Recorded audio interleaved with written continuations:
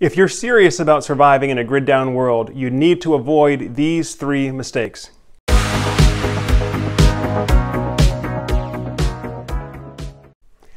Hi everyone, Joe Ordia here for Solar Surge. And for the past eight years, I've been helping families set their house up to be able to survive a loss of the electric grid. You know, one of the things I always say is that when you're planning to be able to run your home off the grid or a portion of your home off the grid, you always want a way that you can do your heating related activities with something other than electricity. Unfortunately, in many cases, the home appliances have already been chosen before the plan to set up for off the grid takes place. So today I'm going to be walking you through some of the top three mistakes that homeowners make or some of the top three challenges that we have to overcome when implementing a successful off the grid plan. Uh, the three mistakes are actually all related to the one main mistake of using electricity for your heating as opposed to taking advantage of alternate fuel sources. The first one pictured here is an electric stove.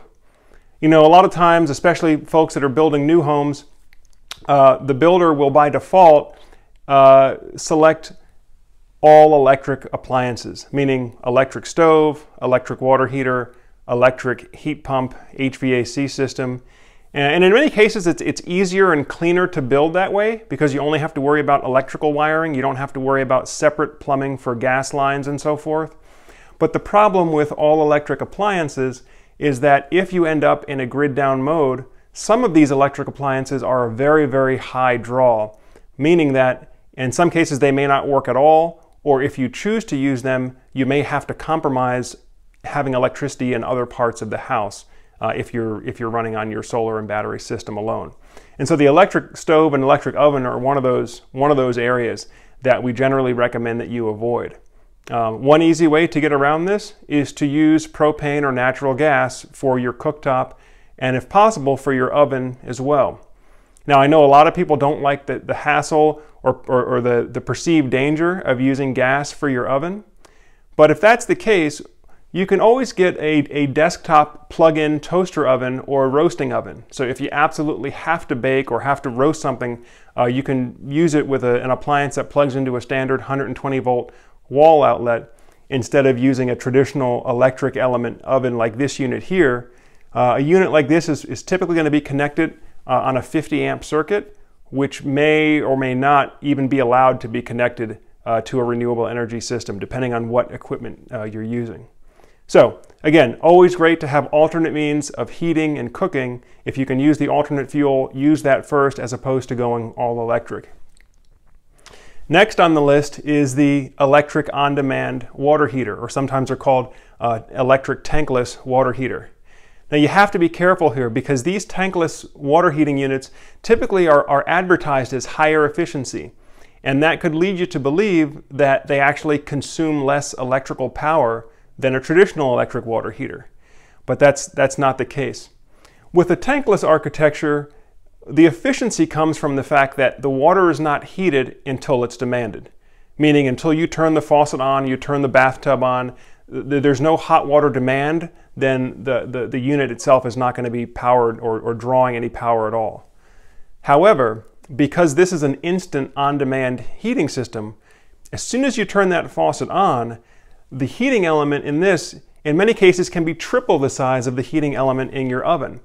And the reason for that is because it has to heat the water instantly as it's being demanded from the consumer.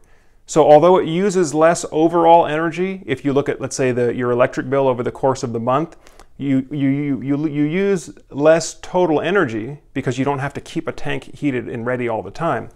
But the instantaneous power measured in watts or kilowatts, when you turn that unit on, uh, you could be looking at consumption anywhere from 15 to 30 kilowatts, which in most cases, uh, an off-grid renewable energy system is not going to be able to handle that at all.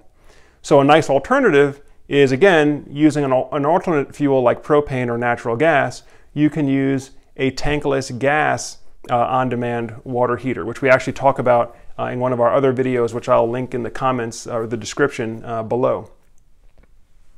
And then finally is making use of electric space heaters. You know, typically when we set up the home to be able to run off the grid or run portions of the home off the grid, uh, oftentimes we will not connect your electric heat pump to the backup power system And we actually explain why in one of our previous videos. And it's because an electric heat pump is a very heavy electrical draw. Uh, you're, if you're running a, a full-size heat pump compressor. Um, the other reason is because most of that draw is coming at nighttime where there's no solar energy coming in, meaning that all of that draw is coming off of the stored energy in your battery. And if you have a very cold night and that heat pump is working too hard, you could drain your batteries out completely and be in a complete blackout until the sun comes up the next time. Now, what many people will do as kind of a workaround to that is attempt to use one or multiple electric space heaters instead.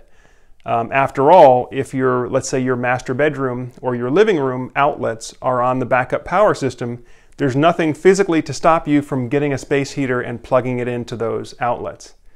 However, the, the heating element in these, these units here, they typically draw about 1500 watts per unit. And that heating element, pulling that draw overnight, you still end up in the same situation as trying to run a central heat pump, which is you're pulling too much energy out of your batteries at nighttime, trying to run one or many of these um, electric uh, heating elements. And uh, in many cases, you may end up draining your batteries out completely and, and blacking out until the sun comes up the next day.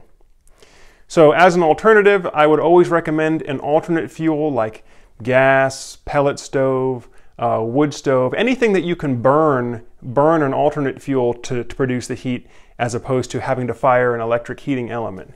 Uh, it's not so much a problem to use electricity to blow hot air around, so running a, uh, an air handler or running a circulating fan that's, let's say, built into a wood stove, you know, that's, that's typically a very, very low draw just to circulate the air around and, and, and heat up a, a, wider area in the house.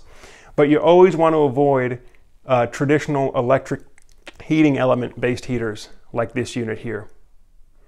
Well, folks, as always, if you have any questions or feedback about the information that we present here, go ahead and post it in the comments below, and I'll do my best to get back to you to answers to your questions. Of course, if you find the information on this channel valuable, be sure to go ahead and share this link. And if you haven't already done so, click on that like and subscribe button. As always, I'm Joe Ordia, encouraging you to get prepared and be empowered. Thank you for watching, and we'll see you again soon.